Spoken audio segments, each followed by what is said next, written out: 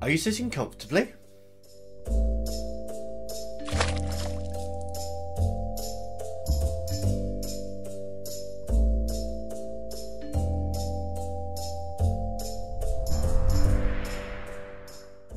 Uh, hoi hoi folks and welcome to today's video where we're doing something slightly different today. So for those of you that don't know, I used to be a teacher, I was a teacher for a very long time and uh, I get lots of requests for lessons and tutorials and things like that. So I thought I would actually do a proper lesson today. So um, it's going to be nice and relaxed. I'm just going to talk you through the subject. But before I do that, I know Finnegan has something that he wants to say to you. Hello everyone, Finn here, Puppet Social Media Manager Extraordinaire. Did you know we're trying to get 10,000 subscribers on this channel? I found out today only 90% of you are subscribed. we can do better. Hit the subscribe button hit the like button, hit the notifications, don't miss videos in the future. Join the Frog Face family. Until next time, goodbye. Thanks for that, Finnegan. Um, now, let's get on to the lesson. So, this is Art Reference Images 101. Now, how many of you have heard this? using reference is cheating. It's just not true. I'm sorry, but reference has always been used by artists. Reference can be a whole bunch of things. It might be a still life setup, life models, preliminary sketches that you've made before, photos. There's lots of things that count as reference. And they're a fundamental and very important part of creating artwork. So, why do we use reference?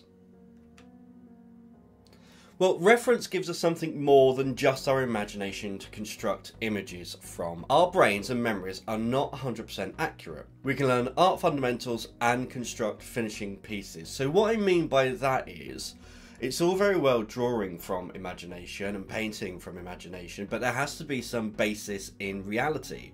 And the way we do that is by studying real life, and we use reference to do that. Our brains are fallible, you know, we do forget things, we're not going to hold on to every piece of information, particularly when we're talking about a lot of visual information.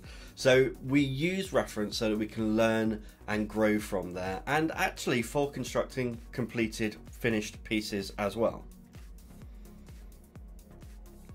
Okay, so a lot of you will be familiar with this. This is a Pinterest board uh, and I'm going to go through how to use reference effectively.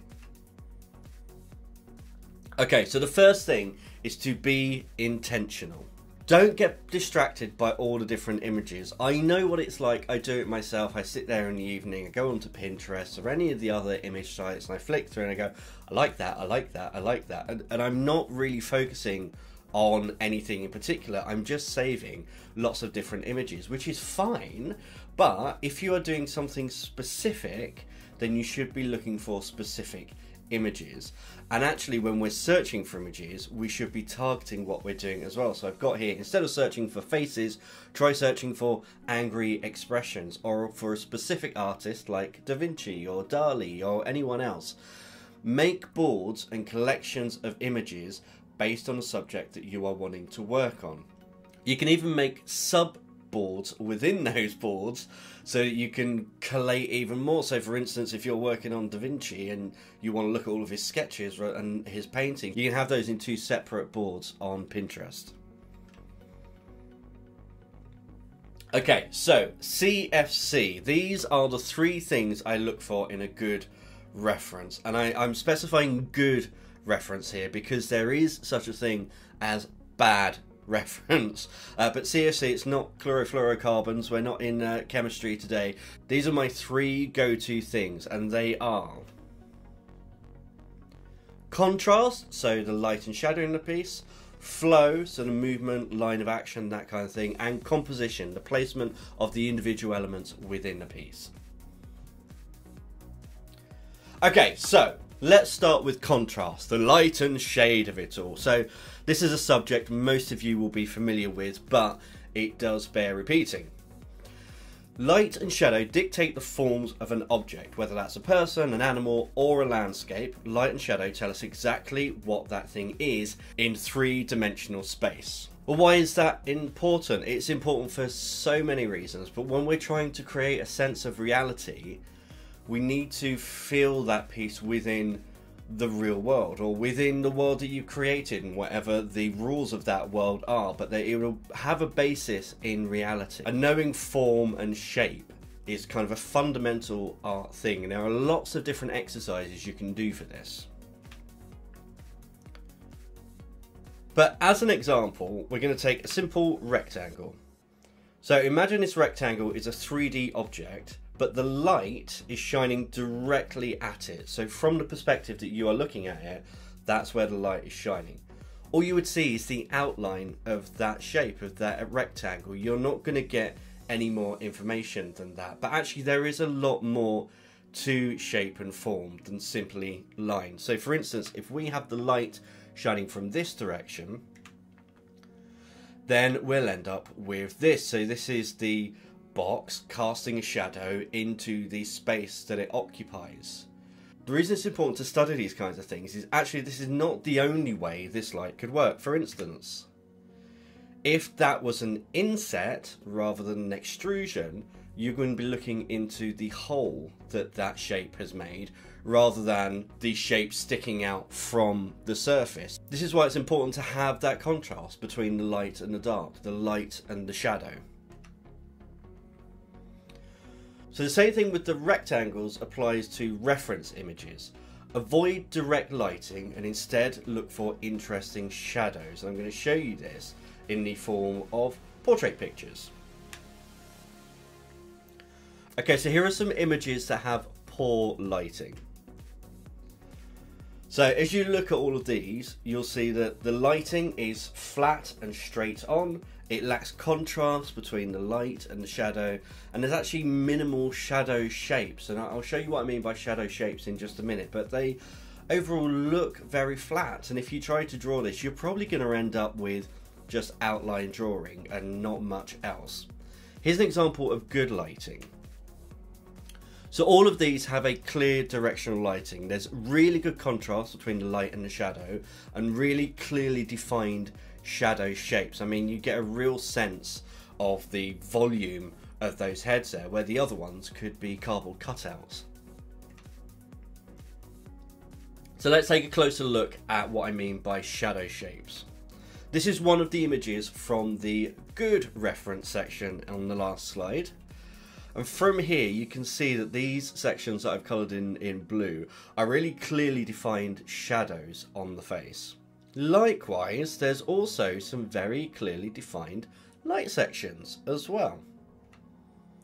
If you think about these two together, the light and the shade, you can really see how you can construct an image of your own, not necessarily this person, but use the information from this reference image to create your own image using that same information.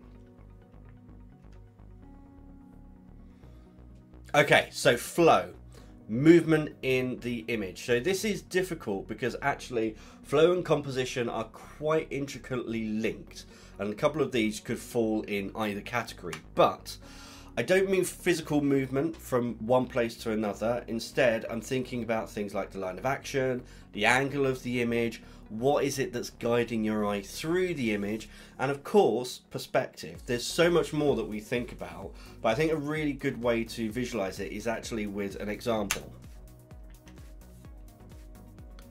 So I'm sorry if you don't like reptiles, but I'm going to use a crocodile for this.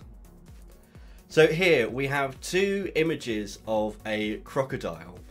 If we're thinking about line of action, motion, movement for these pieces, both of them have very good and very clear line of action. If we take the slide on the left and look at the crocodile, you can see very clearly from the head that kind of serpentine line that comes up and around to the tail. We know that as that crocodile is going through, it's going to be making these undulating movements and you can kind of interpret that you know this for instance might be a dragon flying in the air um, but you can use the information there and transpose it onto to other things. Similarly the one on the right we are not only getting that sense of movement and spiraling but we're also getting quite a nice composition as well with that tail coming up and really framing the crocodile at the bottom again I'm not saying that we're going to copy this image exactly, but there's a lot of information in here that we can take and transpose into other images.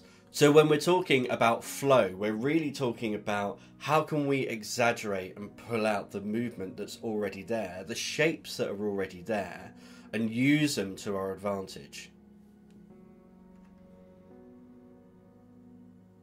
And then third part of CFC, composition, placement of the elements. So there are lots of guides to compositional ideals such as golden ratio, rule of thirds, all that kind of stuff. If you do a quick YouTube search or just Google search, you will find lots of information out there. So what I like to do is use reference of old masters, film stills, animation stills. They can all give really good reference to these rules and how you might want to lay out your own work. In fact, movies and animation are excellent for this because directors spend their whole life learning about composition so that they can make it the most appealing thing for you to be watching. So I'm going to show you two images. One is an example of what I would consider okay composition. So let's have a look at that one first. So this is a landscape and you can see we've got our horizon line is pretty low. There's good perspective on the clouds. There's that element of detail with that tree line, and we've also got some hedges and bushes at the very front as well. It's not bad. It would make an interesting painting. However, if we go ahead and look at this one, this is better composition. It's essentially the same thing. We've got a sky, we've got a tree line, we've got a field, but there are a few key elements on this which make it a better composition. That is the placement of the building, first of all, which is in Mondo's third quadrant. We have this winding path going through as well. And the tree line is broken up too, with some of those trees being a lot further forward than the others. Now, again, I'm not saying that this is something that could be copied, although there's absolutely no reason why you couldn't go ahead and use this as a painting study. But by thinking about it in the terms of composition and what could be taken away from it, then suddenly you can see that that pathway could in fact be a cobblestone road or it could be a river, it could be a strip of sand next to a beach. The building that's there, it looks maybe like a religious building, it could be a different kind of church, you could put a castle there, it could be a small cliff or a dragon or anything. But the compositional aspects of this picture are more pleasing than the one on the left. So here's a few important things to remember. Be intentional with your references. Like I said, it's very easy to get stuck into into that thing of just scrolling through and saving lots of reference pictures. But no, be intentional with it. If you're studying landscapes, look at landscapes. If you're studying wildlife, look at wildlife. If you want to know how an elephant's trunk works, then search for an elephant's trunk and not just an elephant. So here's an important one. Make sure the owner of the images is okay with you using the image as reference. So if you're using Instagram, for instance, uh, a lot of photographers on there will have in their bio or on their website whether it's okay for you to use their reference images. In fact, some of them will even repost artwork that has been made using their reference images, so it's always really good to check that. Of course, remember the CFC, that's contrast, flow, and composition. Don't be afraid to mix references. As I said before with the crocodile, you know, that crocodile could be anything. If I wanted to draw a dragon, I might have one of those crocodile pictures up as my movement. I might have another image up as my background or a few images up that I can draw from. And then I might have eight, nine, ten different dragon images that I can pick little bits from and smash them together or interpret them in my own way. So don't be afraid to kind of be a bit of a magpie, gather it all together and use it as you will. These next two go together, and it goes without saying. Copying someone else's artwork and passing it off as your own is not okay. It's just not. Don't do it. It's not cool. No one likes it. However, copying someone else's work in a personal sketchbook and learning from them, that is fine.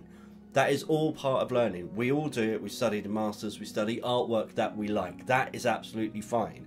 Just make sure you are not telling people that it is your own artwork and you're passing it off as your own. And then finally, the most important thing to remember have fun. Anyway, guys, we are going to leave it there for today. Um, if you've liked this style of video, then leave a comment down below. Uh, tell me what you think. I've really actually enjoyed making this. It's taken me back to being in a classroom and, and giving lectures and, and study halls, so I have actually quite enjoyed this. There's lots of other topics I would be happy to chat about. It's kind of an extended version of my Tuesday top tips, my little shorts that I have. And if you've got anything that you'd like me to teach or you'd like tutorials on, again, leave a comment down below. I do read all of the comments and I do reply to them as well. This whole PowerPoint presentation is actually going to be available to download for my Patreon, so I'm going to put it up on Patreon for them as an exclusive so they can use it as reference whenever they like. But as always, I really hope you've enjoyed today's video, and until next time, goodbye.